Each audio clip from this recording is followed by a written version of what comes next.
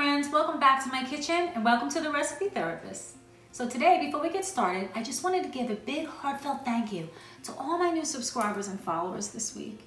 It really touched my heart to see so many of you comment during this past holiday and show me pictures of the things that you made.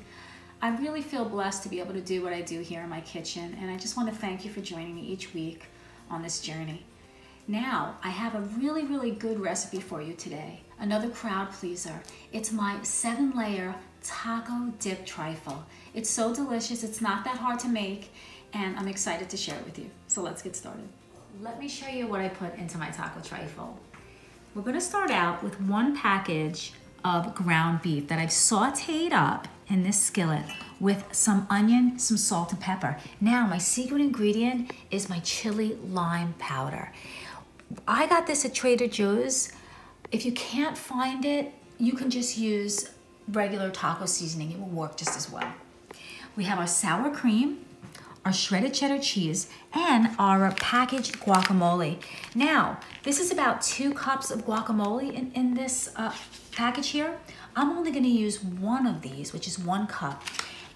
And I'm going to take two avocados and mash them and mix it all together. I just find that the flavor is so much better and it's a little more fresh tasting. Now to preserve the guacamole, I am gonna be adding some lemon juice just so it doesn't, you know, oxidize. Now, over here I have my two cans of refried beans with one package of taco seasoning and block cream cheese.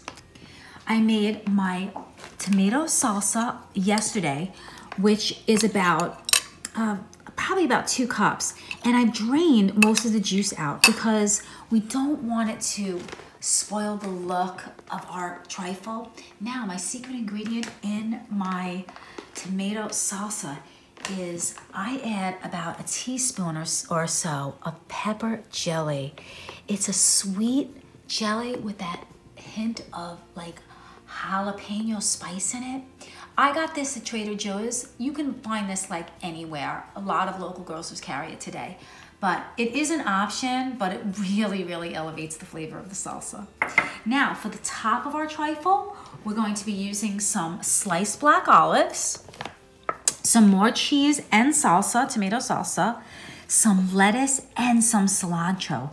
Now, for the, for the extra special crunch for the top, I'm gonna be using either Doritos you can buy, or I just picked up from Trader Joe's some nacho cheese tortilla chips.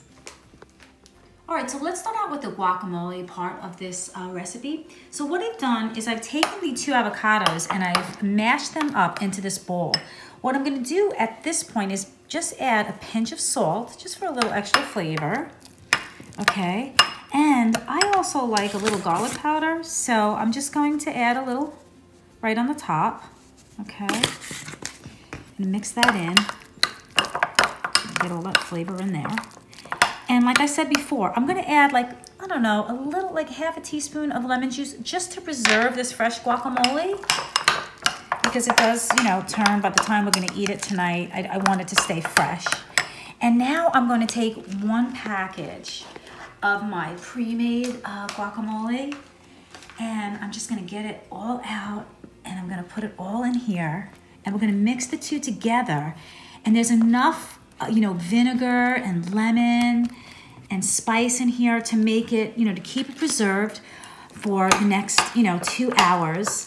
And I'm gonna mix this all together and you're gonna see it's gonna come together really creamy and nice. And that's our guacamole mix. So now let me show you how we do the refried bean part of the recipe. So what I've done is I've taken the two cans of uh, refried beans and I placed them into this bowl. What I've done is I've taken the block cream cheese and I put it in the microwave for about, depending on how hot your microwave is, it could be between 20 to 40 seconds to get it to be soft so we're not wrestling with it. So I'm going to add my softened cream cheese to this and then I'm going to add my whole package of taco seasoning, okay? And I'm going to begin to mix this all together. And it's gonna be this creamy, you know, spicy refried bean mix that's gonna be so delicious at the base of our trifle. So this is what our bean mixture looks like. It's perfect. It's creamy. I just took a taste of it. It's absolutely delicious. It's gonna be perfect for a trifle. So I'm gonna put that to the side. And now I wanna show you what I do to my homemade salsa. Now, if I forgot to mention before, you can use regular jarred salsa. Just make sure you drain it. I like to make homemade, but you don't have to do that. So now I'm gonna add my secret ingredient, which is the pepper jelly. I got my spoon ready. I'm gonna add about a teaspoon like that. And it's just going to give that extra sweetness, like I said, and spiciness to my salsa. And it's just gonna be so delicious in this trifle. And that's it. So we're gonna come back and we're gonna get ready to put our trifle together. So this is the fun part, folks. Now we're ready to assemble our trifle. So this is everything in order, how we're going to line up our trifle. So we have our refried beans first. We're gonna do our sour cream, our guacamole, our ground beef, our salsa, and top it off with our cheese. So I'm gonna start off with the refried beans. So I'm going to just take the refried beans and I'm going to put it on the bottom part of my trifle.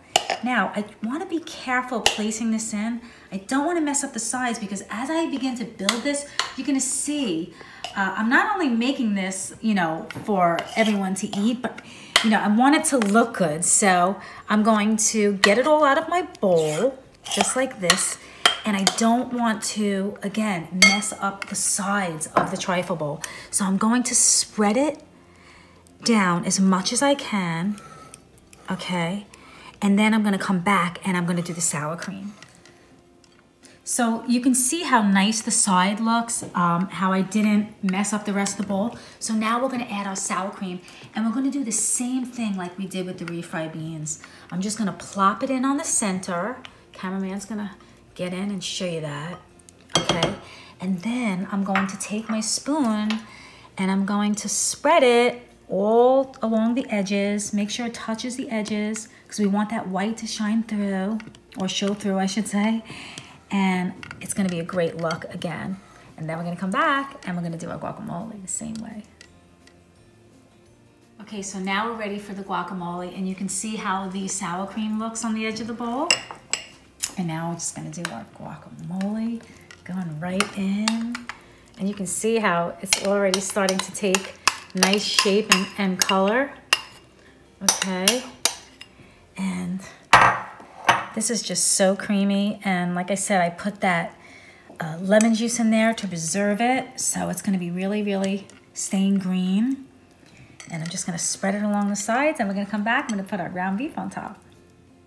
So look at this trifle. You see how beautiful the colors are coming together and how nice and you know neat it is on the sides. So we're doing a great job. Let's keep it going. So we're just gonna add our ground beef going right in. I heated it up.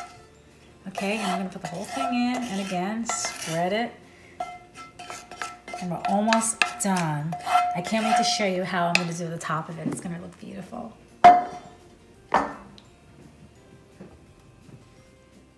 All right, so now we're ready for a salsa. Pour that right on top, the whole thing. And that's why I put it in this order because whatever leftover juice is running in from the salsa, it goes right into that meat. So it gives that meat that flavor. And now it's really looking colorful. Look at that. It's so beautiful. You want to get the top of that? See that? And the sides. Look at that. It's really coming together nice. And I'm going to add my cheese. Okay. And this is my last layer before we're going to decorate the top. We're gonna come back and I'm gonna dome up the top and it's gonna be so beautiful looking. Okay, so we've completed all the layers of our trifle and now we're ready to do the top. We're gonna dome it up really nice. So I'm gonna start out with my chopped lettuce, which is gonna give that, you know, fresh look to the, uh, this taco trifle. All right, I'm just gonna, and it's also gonna help me dome it up, you know? It's gonna give me that nice high layer. I just love this part. And I got my chopped like Doritos or tortilla chips, whatever chip you prefer. Okay. Now I do want some of the lettuce to show through. So, you know, when I'm placing these in, I'll just put them like more like around the outside. maybe some in the center. Yeah, you play with it. Okay, and then I'm gonna put some more cheese on top of that. More towards the center though. Okay, some more tomatoes on top, which that you can spread all around. I mean, look at that. Does that look beautiful? It's really coming together nice. I just love this. And then of course we have our black olives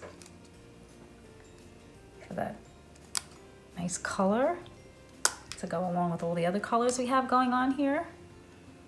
Oh my gosh, I love this. And now you can use chopped scallions as a garnish, but I like cilantro. I happen to like the flavor and I like the look of it. So I'm just gonna sprinkle some cilantro on top. And that's it.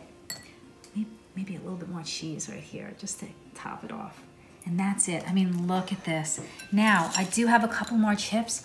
I might wanna just stick a few out, you know, but basically this is how we do the top.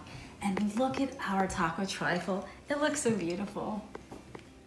So here it is, guys. It's all done and complete. Look at it. Isn't it beautiful?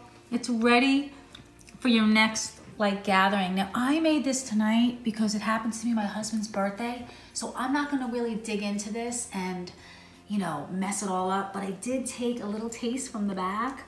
I got some guacamole, some ground beef, some of the salsa on a chip, so I'm just gonna sneak in a little taste. Hmm. I am so, hmm. I am so happy to serve this tonight. I can taste the sweetness from the tomato that I put in there with that little spice and the, the, ground beef with the chili lime flavor and the sour cream guacamole. It's so delicious. I know you're all gonna love this one for your next uh, gathering. Um, like I said, Cinco de Mayo or Memorial Day weekend. It's a real crowd pleaser. For the full recipe, I'm gonna leave it in the description box. And don't forget to hit that subscribe button and that little bell for notifications. And we will see you next time. Take care.